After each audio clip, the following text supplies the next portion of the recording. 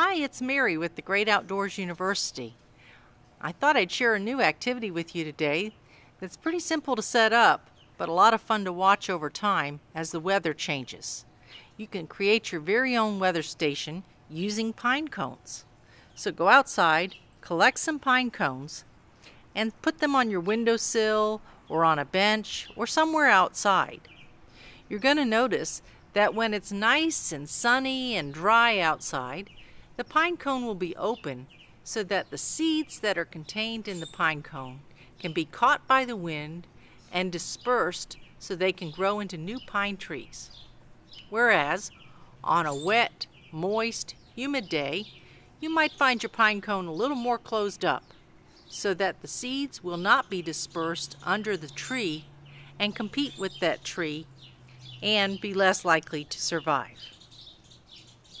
So collect your pine cones and set up your very own weather station and have some fun today.